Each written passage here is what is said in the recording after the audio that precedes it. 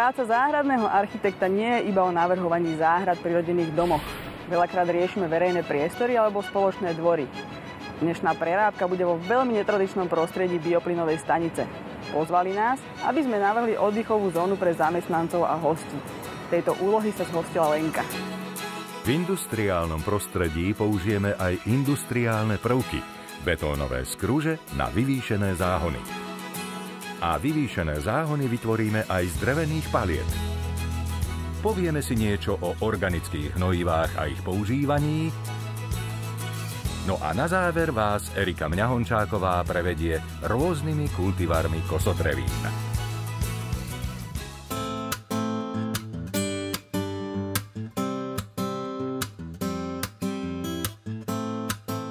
Ahoj Lení. Ahoj, ahoj. Dobrý deň. Tak toto je naše dnešné miesto? To je dnešní místo dnešní realizace. Ještě bych ti chtěla představit pana Rastislava Sobka. Dobrý deň, vítajte u nás. Ďakujem. Děláme tady relaxační zónu pro zaměstnance, protože zatím seděli tady na tom prkínku, na kterým zrovna tady sedíme a firma chce, aby měli lepší posezení, aby to hezky vypadalo, přestože jsme ve výrobě. Tento priestor je taký skôr technicko-kamenný, tak sme chceli z neho spraviť nejakú zelenú zónu. A zelenú preto, pretože my ako firma v podstate e, vyrábame zelenú elektrínu a žijeme to zelenou filozofiou. Tu zelenú tému jsme chceli dostať aj do tej oddychovej zelenej relaxačnej zóny. Chtěla bych tady na tomto sezení, na tomto místě použít materiály, které už nějakou službu už kdysi plnili. Eh, používám tady europalety, ze kterých bude sezení, používám tady starý skruže, do kterých budu vysazovat rostliny a rostliny v celku nenáročné, protože je to přeci jenom firemní posezení, tak aby nebyly nároční na údržbu. Budeme vytvářet stěny hmyzí domečky, který nám tady to trošku to sezení zútulní a uzavřou před těma budovama, které jsou tady technický, že ten prostor bude takový uzavřený. Ja som si všimla, že je tu viacej zvierat v tom areáli. Áno. Vzadu sú kozy, takže je to naozaj také začlenené do tej prírody. Ještě, aby nám sem neběhli a všechno nám to nesežrali.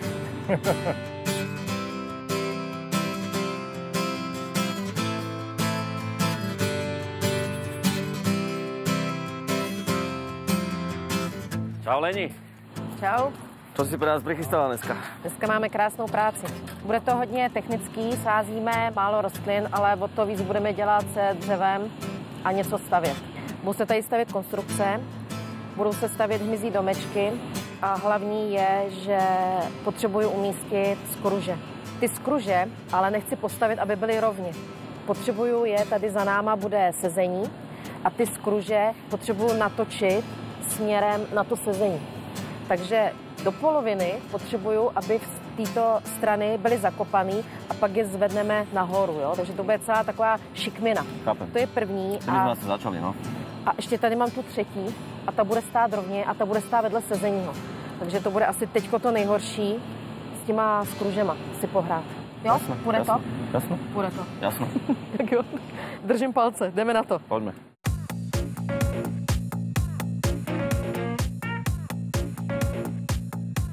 Jednu zo skruží používať nebudeme a ťažká technika, ktorá je v areáli k dispozícii, nám pri realizácii výrazne pomôže. No aj tak je tu dosť práce, ktorú bude treba urobiť holými rukami. Ještě kousek. Ještě trošku, člověče, je moc, je moc vystrčená. Túto stranu hore, ne?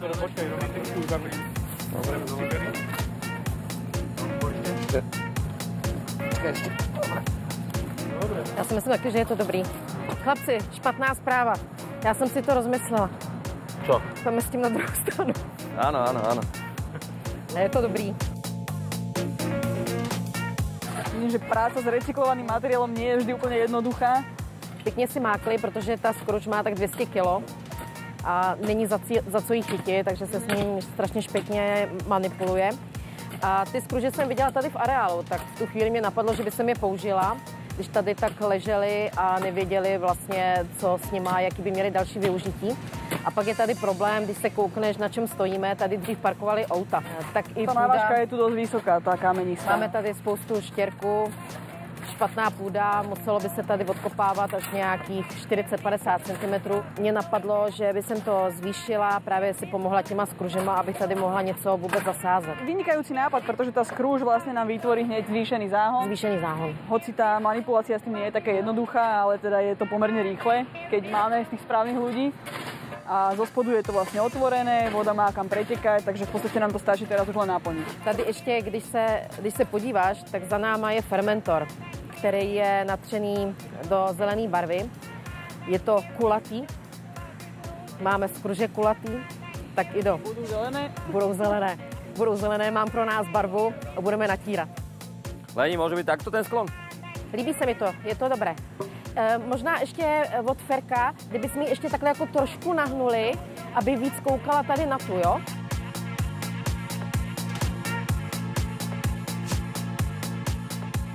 Aj takýto úplne obyčajný predmet, ako sú betónové skrúže, môžeme ozvláštniť nielen tým, že ho nátreme farebne, ale môžeme ho aj našikmo osadiť do terénu.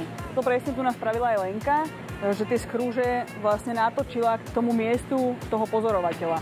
Takže získame tým väčšiu zelenú plochu a ten priestor bude vyzerať o mnoho lepšie.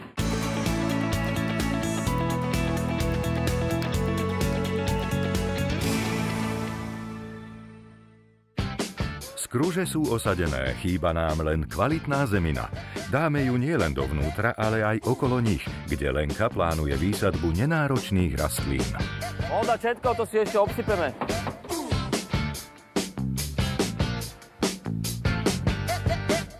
Palety majú byť osadené kde? Ty palety budou tady u plotu.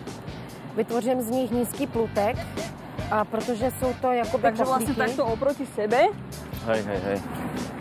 lebo tých použití paliet je naozaj veľmi veľa a vy ste vlastne zdvojili ten kochlík, lebo on by sa dal použiť aj, aj takto, aj samostatne. Ale bolo by to asi by mi úzke. vypadávalo. Budou postavený tři za sebou, takto a teď, jak jsme měli problém s tímhle, viď? No, toto sme sa dohodli, že to dáme, že to dáme preč, tú vrchnú časť, aby to bolo, vlastne tá vrchná časť bude už ako keby taký kochlík, že nebude nám to tu zavadzať. Takže Jasné. Bude to pekne zasypané zemou, nebude to vidieť. A dobré je, že, že ste dali naozaj dve, pretože ten objem zeminy bude väčší a tým pádom nebude nutné také časté zavlažovanie. Vyrezané dosky z vrchnej časti palety využijeme na vytvorenie spodnej plochy budúceho vyvýšeného záhona.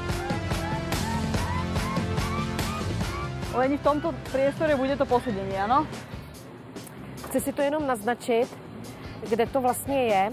K tomu mi to přiráž.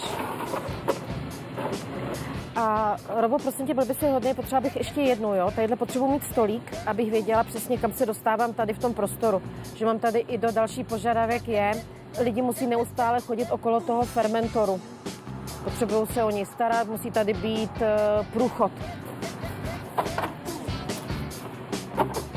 Ještě dál, Robo. Ukáž. Zase, aby to kafičko nebolo moc ďaleko. že musí procházet 50, 50 čísel tady musí být. Menší počet druhov nenáročných rastlín výrazne uľahčí starostlivosť o túto záhradu. Lení, donesol som ti tú bukretku. Aspoň nebudeme muset pak kopat, takže No, si ho rovnou tady postavíme a pak ho jenom přihrneš. A je to filostachys, který se rozrůstá. Počítám s tím, že on celou tu skruž vyplní a nepoleze dál, protože je v té skruži. Nebude se rozrůstat. Takže vlastne tá skrúž bude zároveň tvoriť aj tú koreňovú bariéru. Áno, áno, áno. A tu bude len bambus. Tady bude jenom bambus. Nic dalšího tam do toho dávat nebudeme. Teď to zatím zasázíme, Robo, ani ho nebudeme dělit.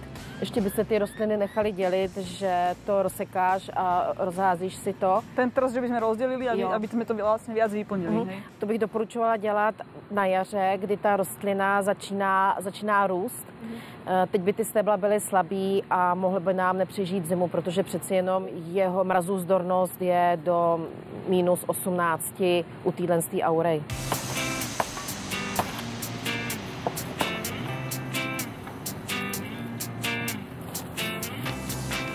Super. Hele, eh, Robo, otočíme ho právě úplně, úplně, úplně. No. Člověče, teď už je to lepší. Tady bude stát konstrukce a on se chytne, jako by se opře o tu konstrukci tímhle s tím. Takže já si myslím, že je to dobrý.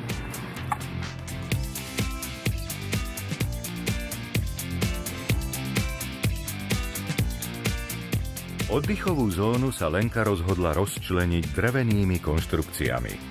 Časť z nich budú tvoriť rámy, do ktorých osadíme paravány s prvkami hmyzieho hotelu.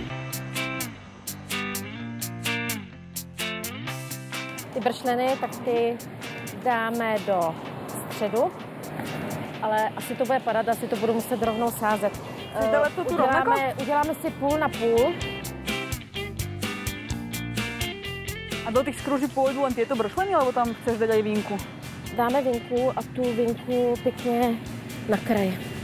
To je zaujímavá odroda s týmito žltými listami, naozaj taká výrazná. Veľmi. A ona zvykne koreniť potom aj vlastne tými výhonkami, takže chceš, je to žiadané, aby korenila potom aj v zemi okolo toho? Ne, ne. Či bude sa to strihať? Chci, aby sa to strihalo, aby to tvořilo jenom tú obrobu na tom na tej skruži, hej? Na, tom, na tej skruži. Myslím si, že to môžeme, môžeme dať do zeme. Aj pri výsadbe nenáročných rastlín používame mykorízne huby. Zimozleň menšia je výborná pôdopokryvná trvalka. Vysadza sa všade tam, kde potrebujete pokryť pôdu a nechcete tam pestovať trávnik, lebo naozaj veľmi, veľmi rýchlo a veľmi spolahlivo takto korení, takže vytvorí súvislý porast. Kvitne takými peknými modrými kvietkami aj viackrát do roka že ten efekt kvitnutia sa zopakuje a to je veľmi príjemné. Táto odroda sa volá Imagine, má žltý list, po okrajoch zelený, taký panašovaný a tu je pekne skombinované s panašovaným bršlenom. Tento bršlen je takisto taký pôdopokrývný, netvorí nejaký kompaktný tvar, ale tiež sa používa ako pôdopokrývna trvalka, ale aj ako ťahavka. Lenka tu použila väčšie množstvo rastlín, takže naozaj tie skruže sa veľmi rýchlo skryjú do tých rastlín. Obidve tie skruže, tieto, ktoré máme tak nakrivo, sú vysadené na rovnako v tejto kombinácii.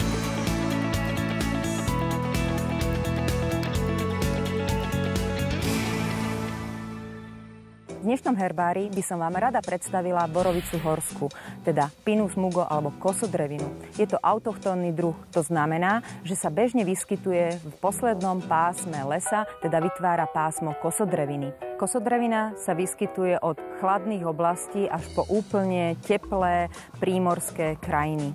Kosodrevina má charakteristický tvar. Vytvára skôr zakrivené konáre, ktoré sú vlastne skôr poliehavé, ale neskôr vlastne vystúpavé. Dorastá do výšky 2,5 metra. Má kolovitý koreň, ktorý rastie až do veľmi veľkých hlbok, odkiaľ čerpá vodu. Má tiež povrchové korene, z ktorých zase čerpá vlahu. Borovica horská, teda kosodrevina, má veľmi veľa kultivárov, teda čarovníkov. Čarovník je rastová deformácia, ktorá vzniká v prírode na pôvodnom druhu ako nejaká mutácia. Bude to rastová, nejaká deformácia, alebo sú to rôzne sfarbené ihlice, alebo ten tvar je niečím výnimočným.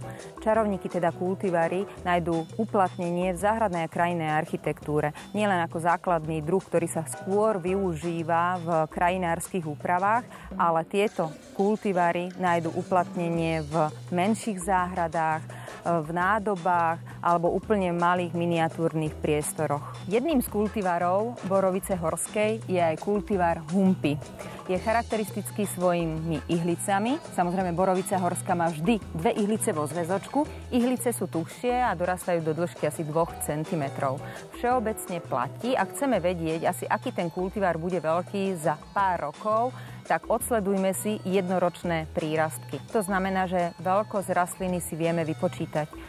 Všimneme si jednoročné prírastky, alebo teda púčiky, dĺžku prírastkov, ktoré rastú od marca do júna, vynásobíme počtom rokov a zistíme, aká tá rastlina bude v dospelosti. Pri 15 rokoch tento kultivár humpy dorastá do výšky 50 cm, čiže je to veľmi miniatúrny kultivár. Ďalším zaujímavým kultivárom borovice horskej je Minima kalouš. Táto borovica je charakteristická svojimi ihlicami. Dorastajú do dĺžky len 1 cm, čo je veľmi zaujímavé pre túto borovicu, teda konkrétne pre tento kultivár. Základný druh, teda borovica horská, má dĺžku ihlic okolo tých 3 až 4 cm. Tento kultivár len 1 cm. Výhodou takýchto čarovníkov je aj to, že môžete si ich navrublovať na rôzne výšky. Táto borovica je konkrétne navrublovaná na podpníku asi tých 15 cm ale tá výška a tá veľkosť tej rastliny bude si zachovávať samozrejme ten tvar a ten podpník bude stále čistý. Pinus mugo jaluby, čarovník, ktorý bol objavený v roku 1987 v Nízkych Tatrách. Je charakteristický svojim zrastom, dorasta do výšky 1 metra. Zaujímavé je aj jeho prefarbovanie. V zimných a jarných mesiacoch sa vyfarbuje do žlta, inak počas roka, počas vegetácie má farbu sviežo-zelenú. Jeden z najhustejších a najkompaktnejších kultivárov borovice horskej je kultivár Varela. Tento kultivár je charakteristický svojim tvarom, ktorý je guľovitý a veľmi hustý. Všeobecne pri boroviciach platí, že ak rastie borovica do väčších rozmerov alebo rastie na miesta, kde už by ste nechceli, aby vám rástla, tak vám dám jeden tip. Hneď na jar, čiže v mesiacoch marec, apríl, môžete tento púčik vyštipnúť a tým zabezpečíte, že tá rastlina bude kompaktnejšia a v podstate jej aj zastavíte rast. Na záver by som už len dodala, že čarovníky nepotrebujú žiadnu starostlivosť. Počas vegetácie môžeme urobiť zálievku horkou solou s dusikom veľmi opatrne, pretože nejde nám o bujný rast.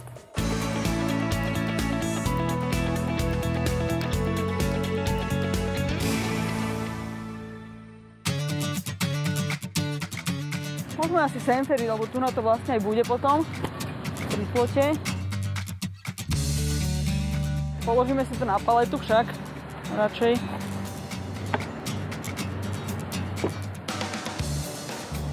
Lenka navrhla tu k plotu paletové kvetináče, také zvýšené záhony. Oni to budú, budú naozaj dosť objemné, takže môžeme povedať, že sú zvýšené záhony. Chalani sa venujú takým zložitejším veciam, tak ja som sa rozhodla, že im pomôžem a zmontujem tie kvetináče dokopy. Najskôr palety spojíme takýmito pomocnými doštičkami tu je dosť málo miesta zahnať s tým kladivom. Je to pevné, drží to spolu. Môžeme teraz vyslať tento priestor netkanou textíliou.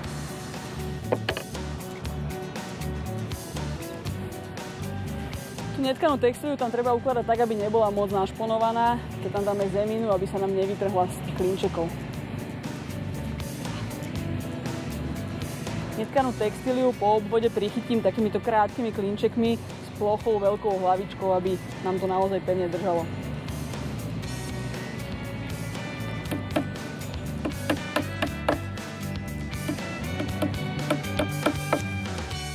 Skoro na celú plochu dnešnej realizácie navezieme lámaný štrk.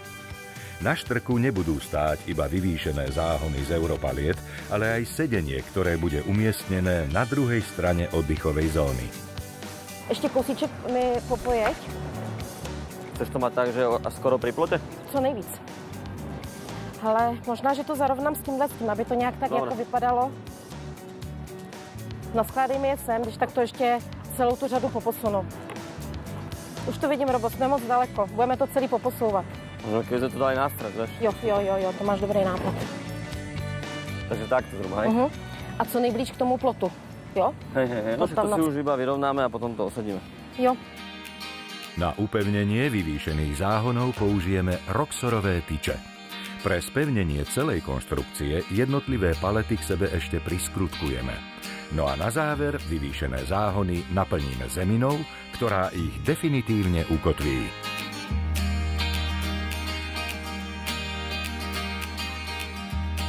Koľko tam dávaš kusov? 4. A vlastne v týchto kochlíkoch budú, budú len tie heuchery? Aha, jenom heuchera zelená, červená i přes zimu. Takže máme, máme tu barvu další. Heuchery sú krásne zelené trvalky. Máme ich tu v kontraste s celým zeleným pozadím, hoci táto textília pôjde preč, ale za tým máme lúku, takže tiež budú veľmi výrazným prvkom tu na, v rámci toho posedenia. Ich výhoda je, že teraz zostávajú aj v zime farebné krásne, takže sú dekoratívne počas celého roka. V podstate vyžadujú buď slnko alebo polotieň, čo tuto je akurát. A kvety nemajú nejaké výrazné, takže na tie kvety sa vôbec netreba orientovať. Pokiaľ chcete použiť heuchery vo svojej záhrade, e, orientujte sa na farbu, farbu listov.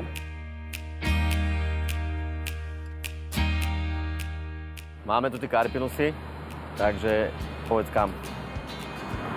Ty na konec palet a Romané na začátek. A chceš to ku stene úplne, alebo chceš Ne, ho ne, tak ne, vysunutý? trošku, trošku dopředu.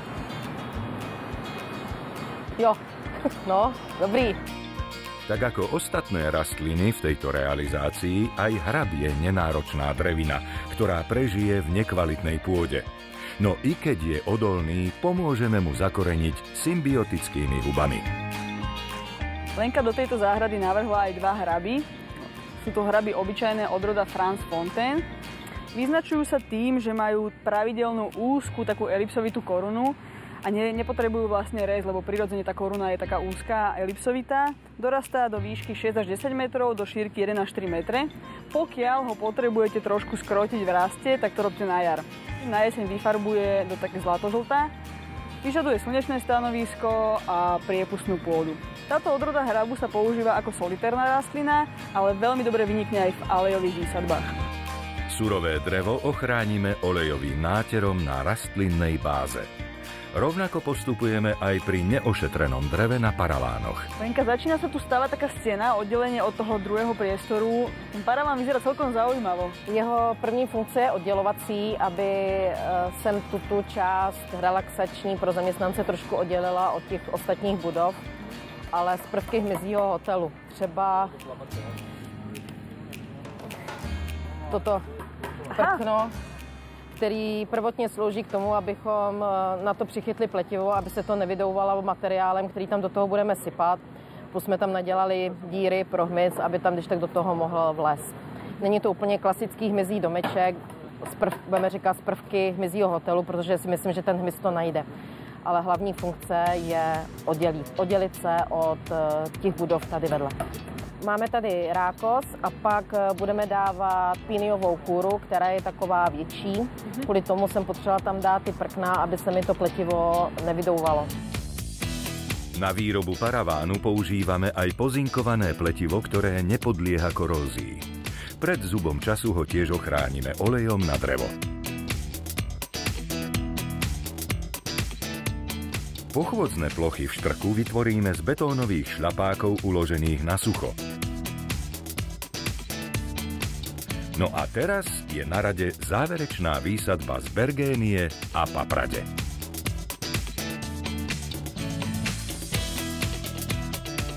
Bergenie sú obľúbené záhradné trvalky, pochádzajú z Ázie a v záhradách sa používajú najmä dva základné druhy, a to je Bergenia srdcovitolista a Bergenia tučnolista.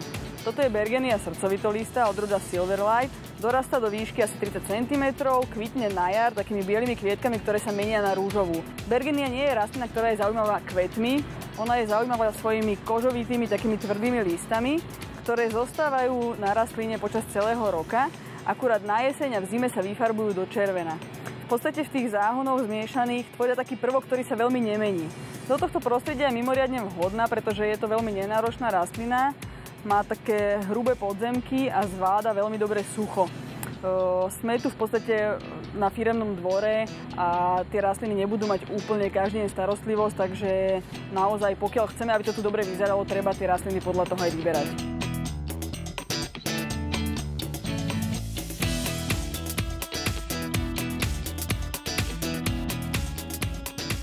Pred záverom ostáva už len farebne zladiť šedý betón s okolím.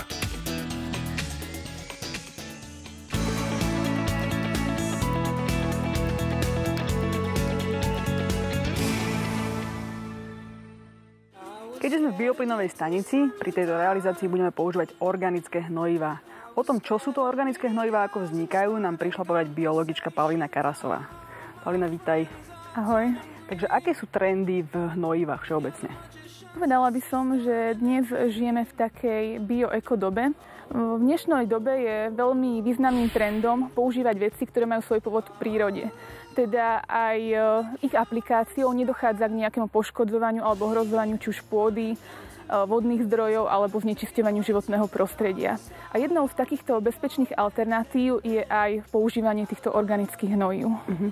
Ako takéto organické hnojivá vznikajú? No, organické hnojivá môžeme rozdeliť na či už živočišného alebo rastlinného pôvodu.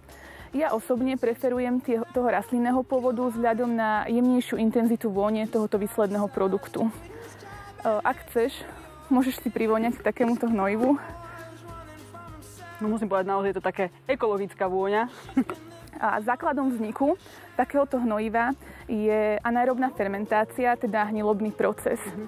Tento proces prebieha v bioplynových staniciach, v hermeticky uzatvorených nádobách, tzv. fermentoroch. Takže toto hnojivo vzniká v bioplynovej stanici? Presne tak. Na Slovensku máme okolo 100 bioplynových staníc. Práve tam v tej bioplynovej stanici sa spracováva biologický odpad tohto rastlinného pôvodu, ale tiež aj cieľne pestovaná biomasa. A keďže anaerobnou fermentáciou nám vzniká bioplyn ako vedľajší odpadový produkt, pri tomto procese výroby elektriny sa tvorí práve takáto organická tekutá hmota. A táto organická tekutá hmota je výbornou alternatívou pre hnojenie či už poľnohospodárskych záhrad, sadov alebo poľnohospodárskej pôdy. Sú v nej zastúpené všetky účinné o, kľúčové živiny, ktoré sú potrebné pre zdravý rast a rastlín a plodín. Z tvojho pohľadu biologičky, na čo je dobre myslieť pri hnojení v záhradách? Jednoznačne odporúčam takéto organické hnojivá, pretože ich pôvod je čisto prírodný. Je to aj tzv. zelený kolobeh, pretože hnilobným procesom to vznikne a následne ako organická hmota takéto hnojivo dáva, vracia späť živiny do pôdy.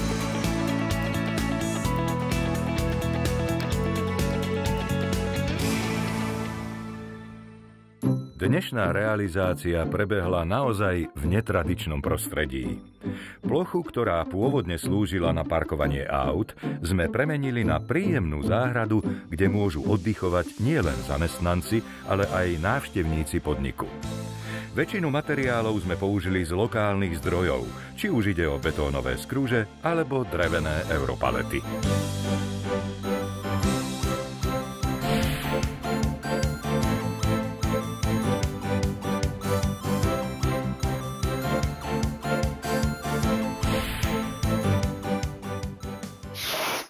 Rasto, Lenka Robo, prerábka, prerábka sa nám podarila, sme hotoví.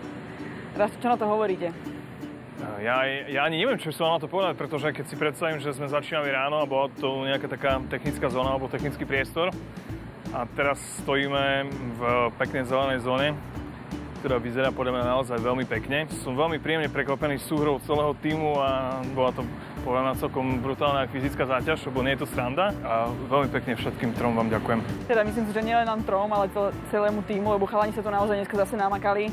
Toho kameňa je tu koľko robo? Hodne. Ani neviem, koľko dovezol, ale bola to veľká kopa. 10 tón materiálu tu je určite. Sme spokojní, že vám sa to páči hlavne a že to hlavne padne na užitok. Já jsem taky velmi spokojená, myslím si, že se nám to podařilo a Rastio, užijte si to tady, ať to všem slouží a myslím si, že můžeme být všichni spokojení, vypadá to dobře.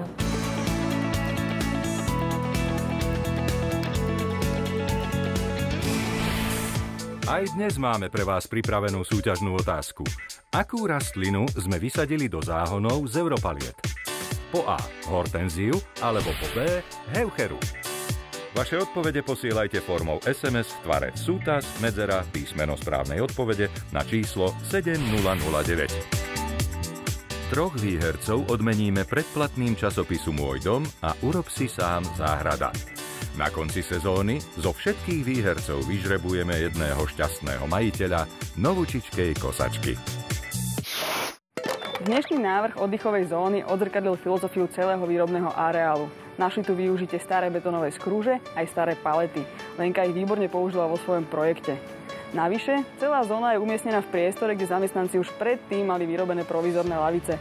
Preto verím, že naozaj bude často využívaná nielen zamestnancami, ale aj návštevníkmi tohto priestoru. Ja sa na vás teším na budúce. Dovidenia.